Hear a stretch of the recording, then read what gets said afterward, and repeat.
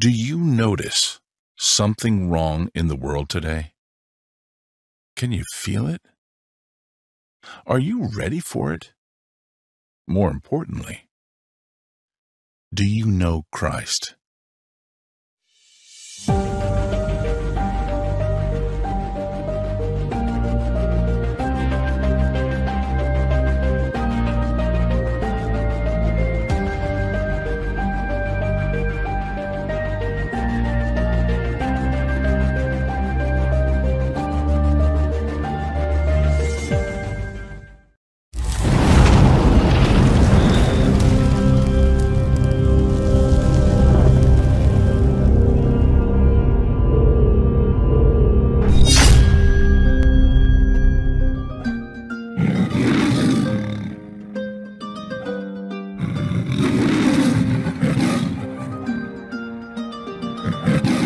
Be be vigilant, because your adversary the devil, as a roaring lion, walketh about seeking whom he may devour. For we wrestle not against flesh and blood, but against principalities, against powers, against the rulers of the darkness of this world, against spiritual wickedness in high places. Happy Sabbath, brothers and sisters in Christ. I greet you in the precious name of our Lord and Savior, Jesus Christ. Today we gather to discuss a fundamental truth of the Christian faith. The only way to heaven is through Jesus Christ. This truth is the cornerstone of our belief and the foundation of our hope. In a world filled with diverse spiritual teachings and New Age movements, it is crucial to reaffirm our commitment to the one true living God of Abraham, Isaac, and Jacob. We will also explore the dangers of teachings that emphasize finding Christ within, as propagated by groups like the Freemasons and those influenced by Kabbalistic traditions. Let us begin with a word of prayer. Dear Heavenly Father, we come before you with humble hearts, seeking your wisdom and guidance. Open our hearts to the truths of your word and help us to discern the true path to salvation. May your Holy Spirit move within us, illuminating our minds and strengthening our spirits. In Jesus' name we pray. Amen. The Bible clearly states that the only way to eternal life and heaven is through Jesus Christ. This is an exclusive claim, meaning there is no other path to salvation. In John 14:6, Jesus declares, I am the way, the truth, and the life. No man cometh unto the Father but by me. This statement is both profound and unequivocal. Jesus is not merely a way, He is the way. He is the truth and the life, and no one can come to the Father except through Him. The exclusivity of Jesus as the only way to God is further emphasized in Acts 4:12, where Peter, filled with the Holy Spirit, proclaims, Neither is there salvation in any other, for there is none other name under heaven given among men, whereby we must be saved. This verse underscores that salvation is found in no one else but Jesus Christ.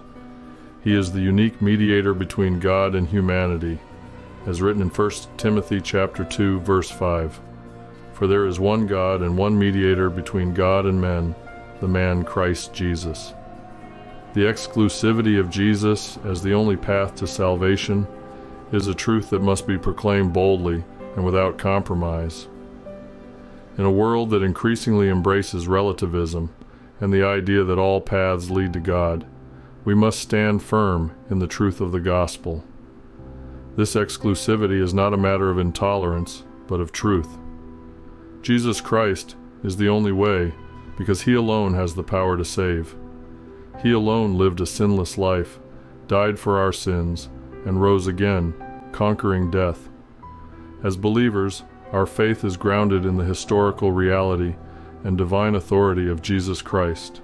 The Christian faith is rooted in the revelation of God to the patriarchs Abraham, Isaac, and Jacob.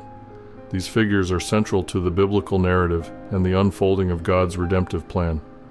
The God of Abraham, Isaac, and Jacob is the one true living God, distinct from the gods of other religions and philosophies. In Exodus 3 6, God reveals himself to Moses at the burning bush, saying, I am the God of thy father, the God of Abraham, the God of Isaac, and the God of Jacob. This identification underscores the continuity of God's covenantal promises and his faithfulness to his people. Throughout the Old Testament, God consistently reveals himself as the God of Abraham, Isaac, and Jacob, affirming his covenantal relationship with Israel. This relationship reaches its fulfillment in Jesus Christ, who is the promised Messiah and the true heir of the promises made to the patriarchs. In Matthew 22:32, Jesus affirms the reality of the resurrection and the living nature of God by stating, I am the God of Abraham and the God of Isaac and the God of Jacob. God is not the God of the dead, but of the living. This declaration emphasizes that the God of the Bible is not a distant or abstract deity, but a living and active God who engages with his creation. The God of Abraham, Isaac, and Jacob is the creator, sustainer, and redeemer. He is the God who sent his Son, Jesus Christ, into the world to save sinners. In John 3:16 we read, "For God so loved the world that he gave his only begotten son, that whosoever believeth in him should not perish, but have everlasting life." This verse encapsulates the heart of the gospel and the unique role of Jesus in God's plan of salvation. In recent years, the rise of New Age movements and spiritual teachings has presented a challenge to the traditional Christian understanding of salvation. These teachings often incorporate elements of Christianity but they reinterpret them in ways that significantly deviate from Orthodox Christian doctrine. Prominent among these New Age proponents are the Freemasons, who blend elements of esotericism and mysticism, including ideas borrowed from the Kabbalah, a mystical tradition within Judaism. They popularize the notion of a divine spark, or Christ consciousness, within each person, suggesting that enlightenment or spiritual awakening can be achieved by tapping into this inner divinity. While the idea of inner transformation isn't alien to Christianity, the emphasis on self realization and discovering one's own divinity sharply contrasts with the biblical teaching of our need for a Savior. The Bible teaches that we have all sinned and fall short of God's glory. Romans 3:23 and salvation is not a result of our own efforts or inner enlightenment, but a gift of God's grace through faith in Jesus Christ. Ephesians 28 9. These New Age teachings promote a form of Gnosticism, a heresy that was vigorously opposed by the early church. Gnosticism holds that special, often hidden knowledge, gnosis, is required for salvation thereby diminishing the need for faith in Christ's atoning work on the cross and shifting the focus to individual spiritual achievement. In Colossians 2:8, Paul warns believers, "Beware lest any man spoil you through philosophy and vain deceit, after the tradition of men, after the rudiments of the world, and not after Christ." This caution is particularly relevant today as we encounter philosophies and spiritual teachings that diverge from the gospel. The idea of finding Christ within, as promoted by New Age movements and Freemasonry, undermines the necessity of Christ's sacrificial death and resurrection. It's essential to remember that salvation is found not within ourselves, but in the person and work of Jesus Christ, who is the way, the truth, and the life. John 14:6. As we move away from the confusion of New Age teachings and the misdirection they bring, our path becomes clearer. The Bible, in its divine wisdom, provides us with the true path to salvation, a path that is not shrouded in mystery or hidden knowledge, but is open and accessible to all. Jesus Christ, the Son of God, is the door to this path.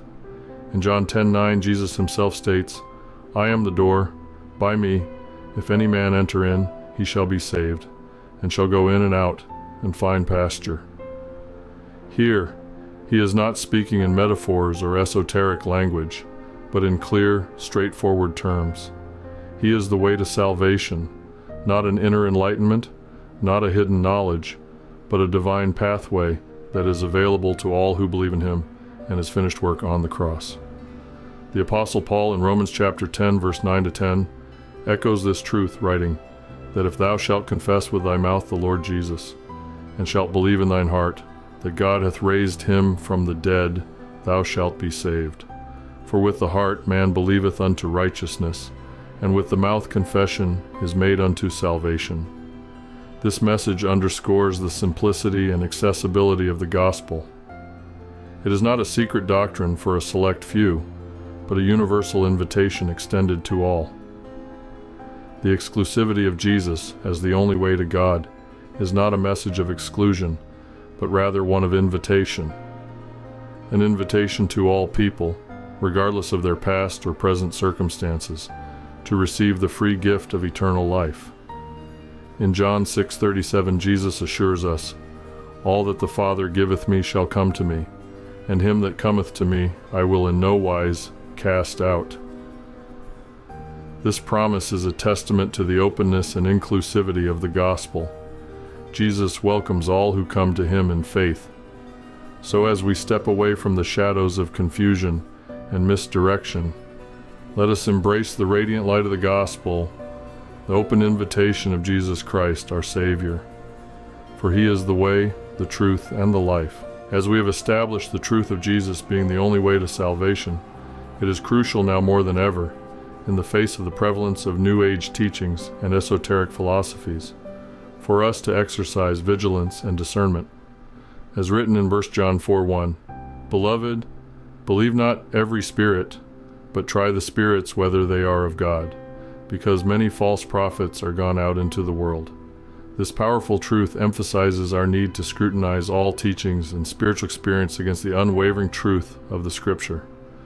The Bereans, whose actions are recorded in Acts 17:11, provide a prime example of discernment in action. These were more noble than those in Thessalonica in that they received the Word with all readiness of mind and searched the Scriptures daily whether those things were so. They did not accept teachings unquestioningly, but instead they diligently compared them with the Scriptures to ensure their accuracy. As followers of Christ, we are called upon to be deeply rooted in the Word of God, growing in our understanding of His unchanging truth. Paul, in Ephesians 4:14 through 15, urges us believers to mature in our faith that we henceforth be no more children, tossed to and fro, and carried about with every wind of doctrine, by the sleight of men and cunning craftiness, whereby they lie in wait to deceive. But speaking the truth in love, may grow up into Him in all things, which is the head, even Christ.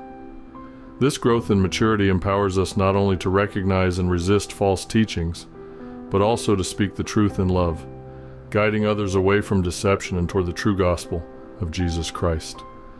Amid a world swirling with spiritual confusion and competing voices, the clarity and authority of Scripture remain our steadfast foundation for faith. As we navigate the waters of discernment and vigilance, we arrive at an important juncture in our spiritual journey.